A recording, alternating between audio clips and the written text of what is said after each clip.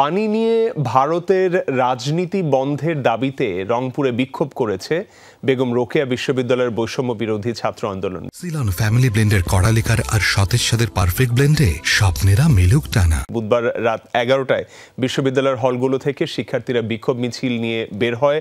পরে শহীদ আবু সাইদ চত্বর হয়ে লালবাগ এলাকায় যায় তারা।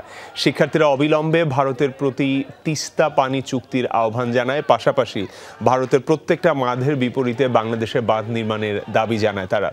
উজানের নদীগুলোর ন্যায্য হিস্সা না পেলে কঠোর আন্দোলনের হুঁশিয়ারিও দেয় নেতাকর্মীরা।